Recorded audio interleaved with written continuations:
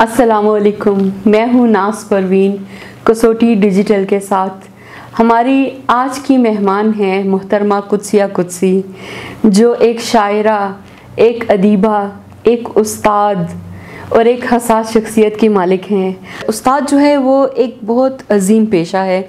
और जहाँ पर एक उस्ताद का काम होता है कि वो अपने जो तलबा हैं उन्हें तालीम देता है वहीं पर उनकी किरदार साजी भी करता है। तो इस सिलसिले में आप जो हैं आपने क्या खिदमत सर अंजाम दी? जी आ, बिल्कुल आपने सही फरमाया। क्योंकि सिर्फ़ पढ़ना तो है तो वो तो घर में बैठ के पढ़ सकते हैं। उस्ताद का तो ज़्यादातर काम जो है वालदेन के साथ साथ उनकी किरदार साजी भी है, वरना तो कोई फ़ायदा ही नहीं। बस ठीक है, वो कहीं भी बैठ के पढ़ लें। तो अब मैं अब खैर अपनी तारीफ़ तो नहीं करती, लेकिन मेरी स्टूडेंट्स मुझसे बहुत मुतमिन थी। और आप समझें कि मेरा आधा पीरियड या 15 मिनट्स तो इसमें समझाने में अखलाकियात में ही गुजर जाता था। आपने बहसीत उस्ताद भी अपनी खिदमत सर अंजाम दी। तो आप कहाँ कहाँ पर आप जो थी वो आपने टीचिंग की? आ, जी मैडम मैंने बहुत से इदारों में स्कूल्स कॉलेजेस में मैंने पढ़ाया।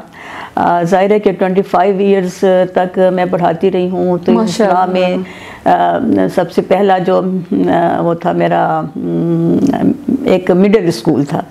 उसके बाद फिर हाई दर्जा बदर्जा आगे जाती गई। हम तो आपने कॉलेज की कॉलेज में भी जी, आपने कॉलेज कॉलेज में मैंने जब मतलब प्राइवेट कॉलेजेस में प्राइवेट कॉलेजेस में।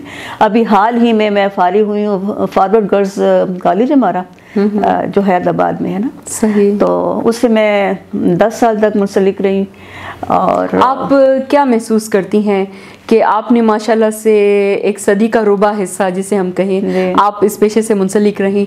तो गुजरते वक्त के साथ साथ इस पेशे में भी कुछ तब्दीली आई है?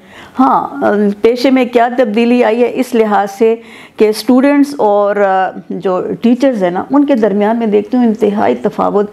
यानी हमारे वक्त तक तो पता चलता था कि ये टीचर है और ये शागिर्द है या स्टूडेंट है लेकिन अब जो मैं देखती हूँ तो कोई फ़र्क ही नहीं रहा। अच्छा आपने माशाल्लाह एक बड़ी खूबसूरत ज़िंदगी गुजारी। आपने पाकिस्तान के अलावा भी बहुत सफ़र किया बाहर दुनिया घूमी आपने। आप कौन कौन से मुल्क में गई? मैं सबसे पहले तो जी मैंने जो मुल्क से अपने पाकिस्तान से बाहर जो गई ईरान है ना? ईरान फिर इराक शाम तुर्की आ, इंडिया सऊदी अरब और फिर दुबई मलेशिया तो मतलब मशरक वस्ती का तक जो ममालिक हैं आपने हाँ, ये देखे हैं। यानी हमारी जो मुस्लिम तारीख में बहुत अहमियत के हामिद ममालिक हैं आप वो देख चुकी हैं आपको उसका शर्फ हासिल हो चुका है। सबसे ज़्यादा जो है आपने अपना वक्त किस मुल्क में बसर किया? ज़्यादातर तो मेरा जो आना जाना रहा है और मैं सालों भी वहाँ रही हूँ वो मलेशिया है क्योंकि मेरा बेटा वहाँ होता है ना। सही। हाँ तो इसलिए फिर मुझे मौका मिला। वहाँ ज़्यादा तो वहाँ के आ, आपको क्या चीज़ जो थी मलेशिया की वहाँ के लोगों की तर्ज ज़िंदगी हम्म। क्या चीज़ आपको अच्छी लगी? जी मुझे जो उनका तर्ज ज़िंदगी में उन ये है कि मुझे जो चीज़ बहुत उनकी पसंद आई है और मैं लिखती भी हूँ लिखा भी है मैंने लोगों को बताती भी हूँ कि वो एक पुरअमन कौम है। तो आपने सफ़रनामे भी लिखे हैं तो आपने किस मुल्क के सफ़रनामे लिखे हैं? हाँ जी मैं वैसे ये है कि कोशिश मेरी ये है कि जहाँ जहाँ मैं गई हूँ सबके बारे में मैंने लिखा है ना। आ, अब जैसे मेरी सबसे पहली मेरा पहला सफ़रनामा आया है गर्द सफ़र के नाम से। गर्द सफ़र उसमें बहुत सी कंट्रीज़ में एक जाओ वो दरअसल मेरी डायरी थी। डायरी को मैंने फिर प्रिंट करवा दिया। सफ़रनामों में ईरान इराक जितने अभी अभी मैंने नाम लिए हैं ना सिवाय दुबई के सब पर मैंने कुछ ना कुछ लिखा है इन सफ़रनामे की सूरत में। सही। आप शायरा भी हैं। आपको एक से ज़ायद ज़ुबानों पर अबूर भी हासिल है। तो आपने शायरी और कित, कितनी ज़ुबानों में की? जी देखें उर्दू जो है वो तो हमारी कौमी ज़बान है। इसमें लिखना जो है वो तो नागुजीर था। हम्म। तो उर्दू में लिखा फिर मैंने हिंदकों में लिखा उर्दू जो है वो शायरी भी है और नसर में भी लिखा है उर्दू में। जी जी। फिर मैंने फ़ारसी में भी लिखा। अच्छा फ़ारसी में जी भी फ़ारसी इसलिए लिखा कि वो मेरी मादरी ज़बान है। हम्म, हम्म। और फ़ारसी जो है वो महजब लोगों की ज़बान है। हमारा जो बहुत ज़्यादा कीमती वर्षा है हमारा हमारे आबा अजदाद का ज़्यादातर जो है मोतद हिस्सा जो है वो फ़ारसी में है। अच्छा आपने अफसाने और ड्रामे भी लिखे। तो ज़्यादातर आपके जो अफसाने और ड्रामे हैं उनके मौजूद क्या थे?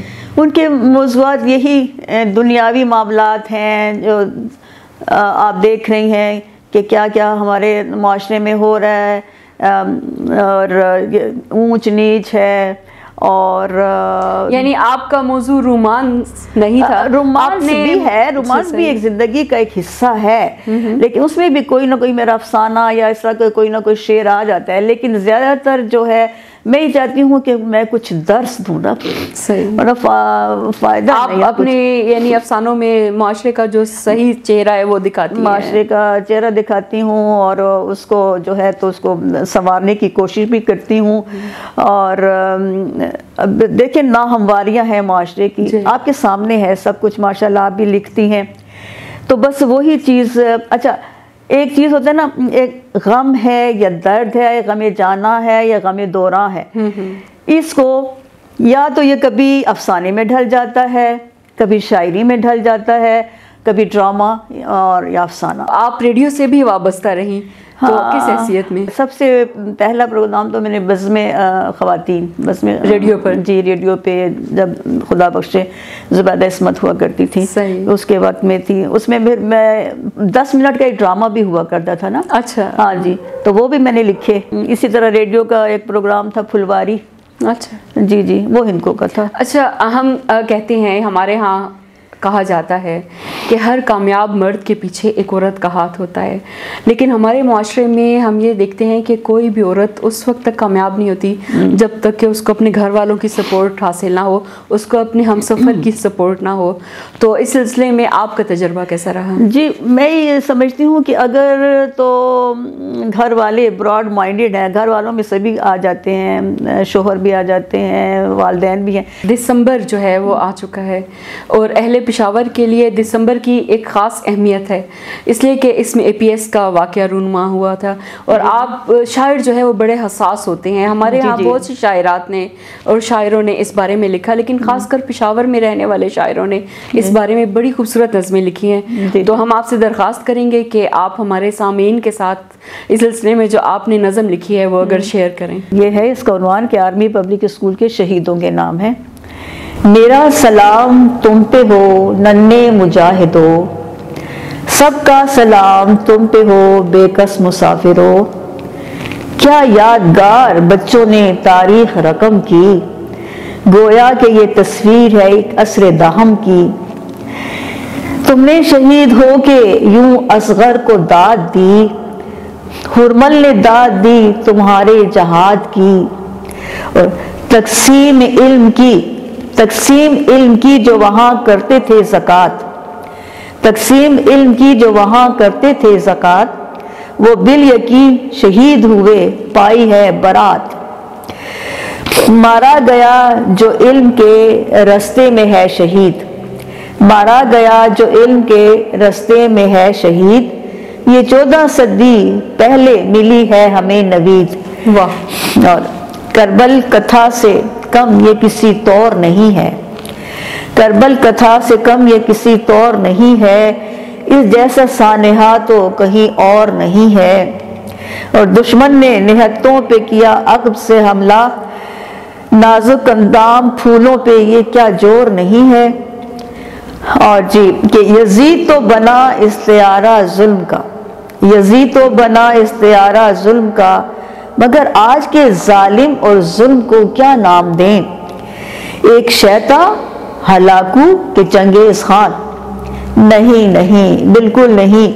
है तशबी कोई ना इस्तारा कोई। और पीरे किना को तो थी बेटे की आस। पाली उसने पैरहने यूसुफ की बास। याकूब को तो खोई बसारत भी मिल गई और यूसुफ किना की बशारत भी मिल गई। हाय, आज पिदर ढूँढने। हाँ हाय, आज पिदर ढूंढे कहाँ अपने पिसर को। वो बेमिसाल मिट्टी में सूरत भी मिल गई।